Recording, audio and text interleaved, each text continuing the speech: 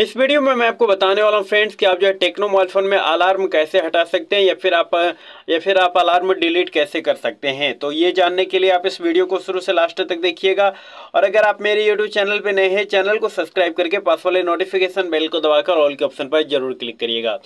चलिए वीडियो को स्टार्ट करते हैं। तो इसके लिए आपको अपने टेक्नो मोबाइल फ़ोन में एक एप्लीकेशन मिल जाएगा क्लॉक के नाम से। आपको इस एप्लीकेशन में चले जाना है।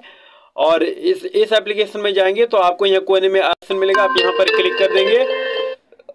तो आपने दोस्तों जितना भी अलार्म अपने फ़ोन में लगा रखा होगा, वो वो वो यहाँ पर आपको देखने को मिल जाएगा। जैसे मैं, जैसे हमने पाँच बजे, आठ बजे और नौ बजे का लगा रखा है तो आप देख सकते हैं तीनों अलार्म हैं। अब दोस्तों, अगर आपको अलार्म बंद करना है तो बंद करने के लिए आपको उस अलार्म के सामने वाले इस सेटिंग पर क्लिक कर देना है, बंद हो जाएगा। तो इसी तरीके से आपको जिस जिस भी बंद, को बंद करना है, उस पर आप उसके सामने वाले सेटिंग को ऑफ़ कर देंगे, बंद हो जाएगा।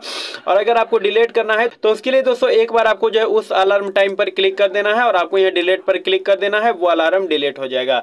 इस तरीके से आप जो है टेक्नो के मोबाइल फ़ोन में अलार्म को डिलीट कर सकते हैं। वीडियो पसंद आया है लाइक करके चैनल से सब्सक्राइब ज़रूर करिएगा।